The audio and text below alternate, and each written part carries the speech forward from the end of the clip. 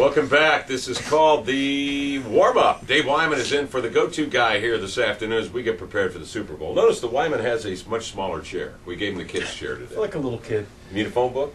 No, well, you gonna be all right? let me get a different chair. Yeah, get a different chair. Ah, this is fun. All right? We're only It's gonna like be on story here. for like- time. I feel like a little kid's gonna be here for like a minute. I wish I had a story to tell you. Yeah. I wish I had a story to tell you. Uh, we're finally here. We're finally right here on the uh, the doorstep of the Super Bowl. I can't wait. It's going to be terrific. We've got two outstanding quarterbacks going at it. Two terrific defenses.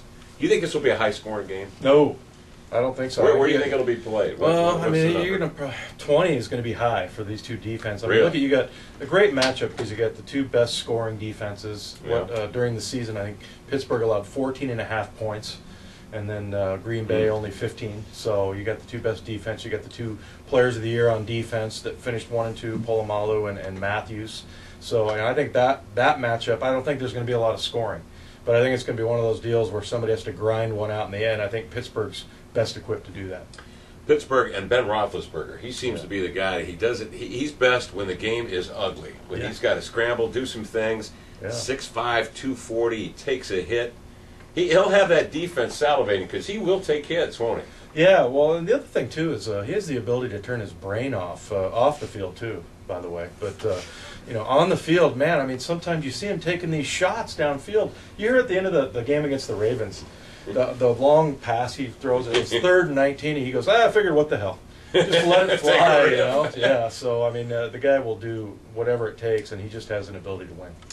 I know you're a huge basketball fan. We've got Washington on the road after losing to Washington State. So Washington's down there. They're playing Oregon State. We'll get into that a little bit this afternoon. You still like Washington? You Oh, think? yeah. How much do you like them, though? Well, I mean, I, I think Romar is going to be able to bring this team, uh, you know, so they start to build about this point going towards the tournament, you know. And Yeah. it's the teams that get hot, it's just like the NFL playoffs. The teams that get hot going into the tournament usually do really well. And I think he's such a great leader. They got a ton of talent. So, you know, I think when uh, the games start to really matter, that's when they're going to start to step up. a. Ooh, okay, you heard it.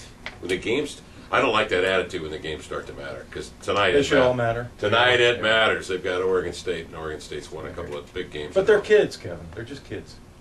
They're just kids, you know. So they, they don't. They're on a they're full ride scholarship. Why, man? Come on, suck it up. They're paid athletes. Well, I know it's tough. It's, tough- it's tough being down there in Corvallis to focus because there's so much to do down there. Yeah, that's true. This is the Y Man, KC warm up. Join us three o'clock.